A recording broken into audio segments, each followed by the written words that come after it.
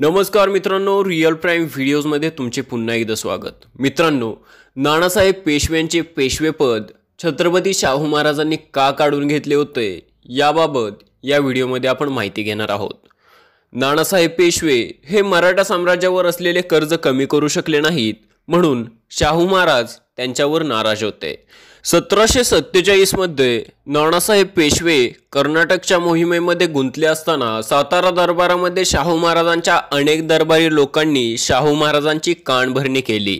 त्यात पेशव्यांचे प्रतिनिधी बाबूराव नाईक बारामतीकर नागपूरचे रघुजी भोसले श्रीपतराव प्रतिनिधी आनंदराव सुमंत नारोराम मंत्री यामाजी दाबाडे गायकवाड इत्यादी अनेक मंत्री यामध्ये सामील होते. या सततच्या कटकटीला वैतागून शाहू महाराजांनी नऊ मार्च सतराशे सत्तेचाळीसला शिक्के काट्यार आणि जरीपटका पुढे पाठवून जमादार खाण्यामध्ये जमा करावे असा आदेश नानासाहेबांना दिला होता.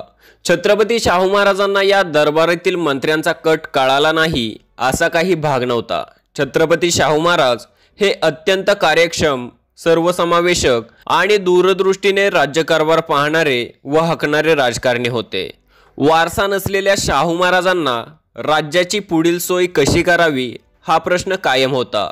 नानासाहेबांना दिनांक नऊ मार्च सतराशे सत्तेचाळीस रोजी पेशवेपदावरून दूर करून छत्रपती शाहू महाराजांनी एक प्रकारे नानासाहेब यांची परीक्षाच घेतली होती. या दरबारी मंत्र्यांचा अंदाज होता की नानासाहेब पेशवे एकतर बंड करतील किंवा नानासाहेब पेशवे क्षमायाचना मागतील आणि शाहू महाराजांच्या पायावर लोणन घालतील.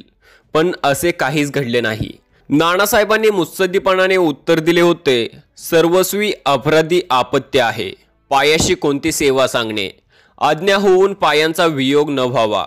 अशी अर्जदास्त नानासाहेबांनी छत्रपतींकडे केली होती. दरबारातील हा घोळ एक महिना चालला होता. पेशवेपदास दुसरा कोणताच लायक उमेदवार मिळाला नाही. त्यामुळे तेरा एप्रिलला पुन्हा शाहू महाराजांनी नानासाहेब पेशव्यांना पेशवेपद दिले. शाहू महाराजांनी नानासाहेब यांची योग्यता विश्वासार्हता पुन्हा एकदा राजमंडळासमोर आणून सर्वांस कृतीतून गप्प करून नानासाहेबांना परत पेशवेपदावर नियुक्त केले होते. छत्रपती शाहू महाराजांनी अखेरच्या काळामध्ये म्हणजेच सन सतराशे एकोणपन्नासमध्ये पुढील राज्यकारभार करण्यासाठी वंश चालेस्तोवर पेशवापद चालवण्याची सनद करून नानासाहेबांना दिली होती. पेशव्यांना मर्यादित अधिकार दिले असले तरी राजमंडळाचे अधिकारही कायम ठेवले होते. धन्यवाद. भेटूया पुढच्या व्हिडिओमध्ये. तोपर्यंत पाहत राहा रिअल फ्रेम व्हिडिओज